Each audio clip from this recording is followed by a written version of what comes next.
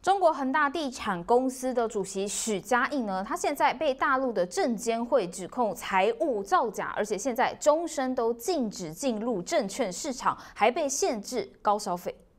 许家印决策并组织实施财务造假，夏海军组织安排编制虚假财务报告，手段特别恶劣，情节特别严重。证监会拟决定对两人采取终身证券市场禁入措施。曾经是大陆地产龙头的恒大集团，今年初遭资产清算后，证监会最新宣布将对恒大集团罚款新台币一百八十三亿，另外董事长许家印个人罚款新台币二点零五亿。中国证监会认为恒大地产。披露的二零一九年、二零二零年年度报告不仅存在虚假记载，其公开发行公司债券涉嫌欺诈发行。恒大地产财报造假有多夸张？二零一九年、二零二零年分别虚增收入人民币两千一百三十九亿、三千五百零一亿，占当期营收的五到七成，累计虚增收入高达新台币两兆四千六百八十亿。证监会除了罚钱外，未来许家印也不得进行高消费以及非生活工作。必须的消费行为包括搭飞机、搭列车软卧、轮船不能选二等以上舱位，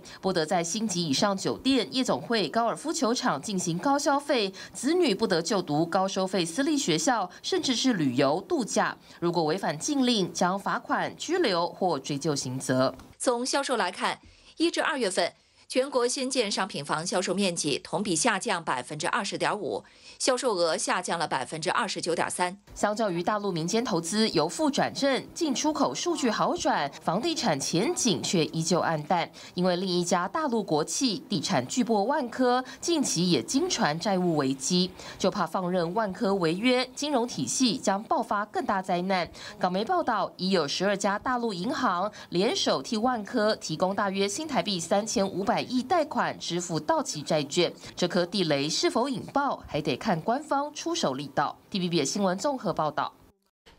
好，我们刚刚从新闻当中也看到，大陆的证监会对于中国大陆的最大地产公司恒大集团现在也出手了。那今天的中国观察，当然我们也要谈到这一个话题，所以我们也邀请到特派记者敏珍到现场帮我们分析。明珍好，新好，大家好。好，我们现在大家来看到，我们刚有看到说，其实证监会就公告说，恒大集团他们在二零一九年跟二零二零年的时候报告是有虚载、虚假的记载。那么现在呢，他们的证监会也对许家印做出相关的惩处，包含呢先罚了恒大。以人民币四十一点七五亿，大约是新台币 一百八十三亿元左右。那对于董事长许家印呢，还有他们的前总海财夏海军，他们都认为说，其实他们是有决策跟组织实施财务造假的，所以就告诉。都说他们是终身禁止进入证券市场，所以我们想要请教敏珍哦，因为我们知道说许许家印他的人生可以说是大起大落，过去他也曾经是中国的富商，但有听说他很小的时候好像也是赤贫阶级。那这个他这个一生这样子走来走去，大起大落，你怎么看？是许家印他很多公开资料就是显示他，他其实像很多有钱人一样啊，都有一些很传奇、很励志的发迹过程。那有一些公开讯息就是他其实是出生于河南的农村。那么在他一岁的时候，他的母亲就因为生病啊，没有钱治病，然后就离世了。所以他是由父亲还有他奶奶把他一手给带大的。那那许家印他就曾经有分享过说，他小时候是要带着馒头到用茅草盖的学校去读书，然后那个馒头放在包包里面，还因为潮湿的天气，那个馒头发霉了，那他是拿出来洗一洗就继续吃，那么就是要显示他小时候的生活是比较呃辛苦一点的。那他出身贫困，不过他的学习成绩是还蛮亮眼的。在一九七八年是大陆经历了文革十年之后，呃，开放高考后的第二年，那许家印他当时是在人口有一千万的周口市名列第三的成绩，考上了的是。武汉钢铁学院，也就是现在的武汉科技大学。那在这之后，他毕业以后，他就进到了呃武汉呃钢铁厂去工作了十几年。到了他三十四岁的时候，他是因为受到邓小平南巡演讲的影响，他带着两万块的人民币是到了南方来创业。那么他到南方也就认识了呃一些房地产的人脉，所以呃他在一九九六年的时候就和几个朋友成立了恒大这间公司哦。那当时的时候呢，许家印他发现到，其实当时大陆的政府他们是积极的想要把几十亿的人口从农村移到城市，所以他就发现到这一个呃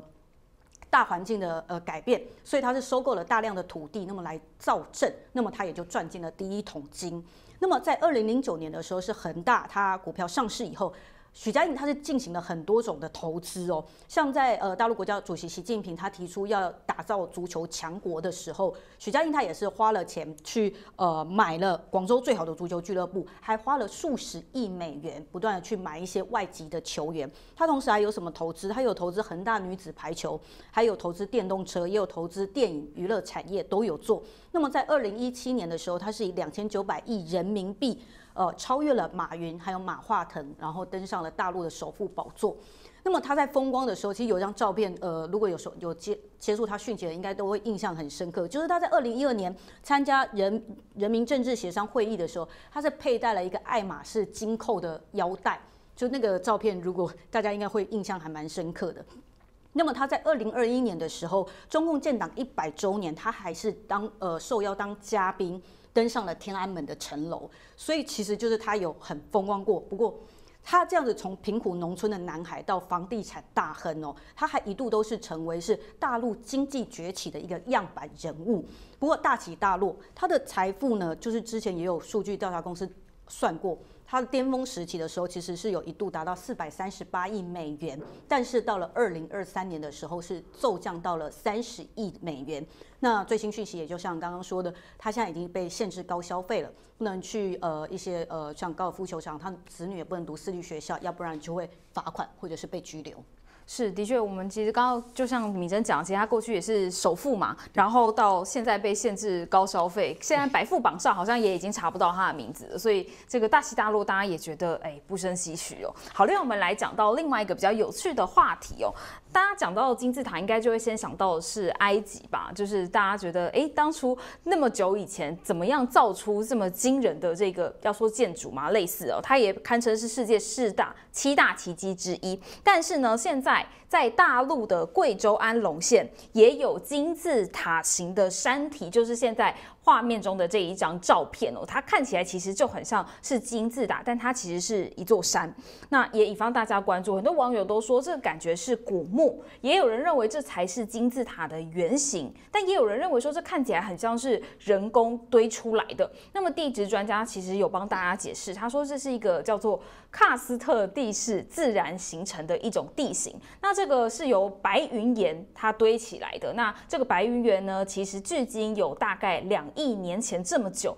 那它是在一个海洋的环境下面形成，是具有可溶蚀性。那它看起来也可以看得出来有非常明显的分层。那我们想要请教敏珍哦，这个金字塔山它是怎么形成的？是跟下雨有关系吗？那如果说大家今天想要来这里旅游来看这个还蛮漂亮的这个金字塔，你有没有推荐大家哪几个月份比较适合？是。贵州是刚好在去年的时候，我去了一趟贵州，然后那时候主要是采访他们非常火红的村超村 BA，就是篮球、足球，呃，不知道大家知不知道？然后可是。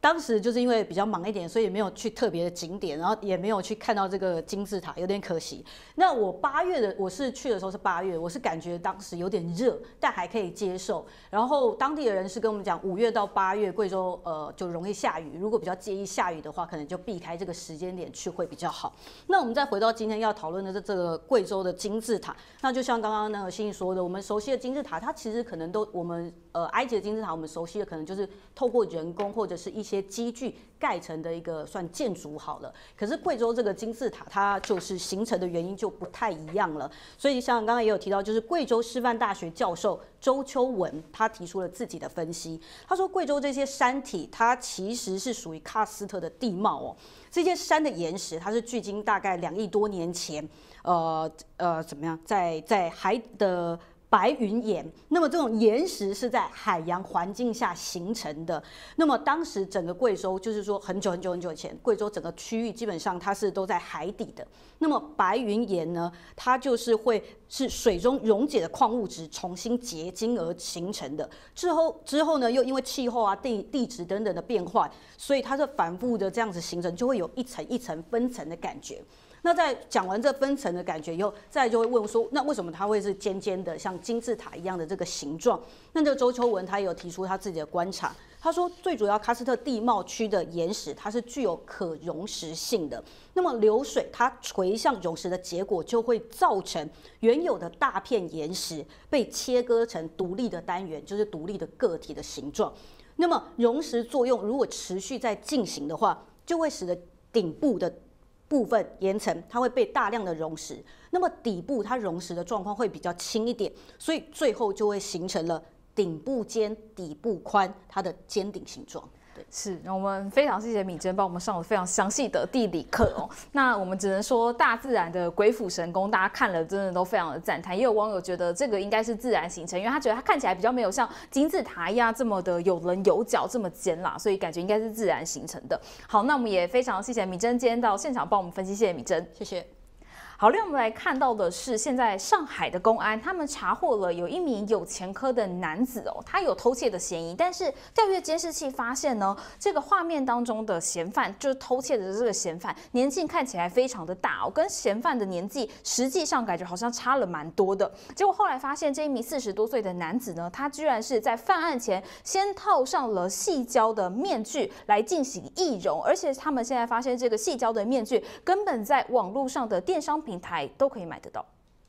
熟练套上假脸头套，戴上口罩，再加顶毛毛，这名男子就像电影《不可能的任务》，利用简单的易容术溜进社区偷东西。呃，家里面有被翻动的是吧？翻动是一个储存罐，然后扔到里面去砸掉。警方十八号接获报案，上海某处社区有四户人家同时遭窃。警方调阅监视器，看到有一名年长者进入社区后迟迟没有离开，嫌疑重大。不过巡线将人逮捕后，却发现这名有前科的嫌疑犯才四十多岁，和监视器中苍老的外貌特征并不符合。后来翻开嫌犯行李，除了犯案工具和赃物，竟还有人脸面具。这个嫌疑人在案发之前，首事先到小区的相关的点位呢进行过踩点，并且在作案时携带了两套服装，通过换装的方式啊躲避我们这个影像的一个侦查，并且还佩戴了头套。打开大陆电商平台，搜寻细胶面具，有各种模仿男女明星的假脸道具，甚至还能刻制化一套面具，不用新台币一百块就能买得到。只能说犯案手法很有创意，不过还是没逃过警方法眼。TVB 新闻综合报道。TVBS 新闻直播回到 YouTube 频道了，提醒您每周一到周五的晚间七点到九点，由新化主播为各位新闻划重点，记得一定要来参加直播。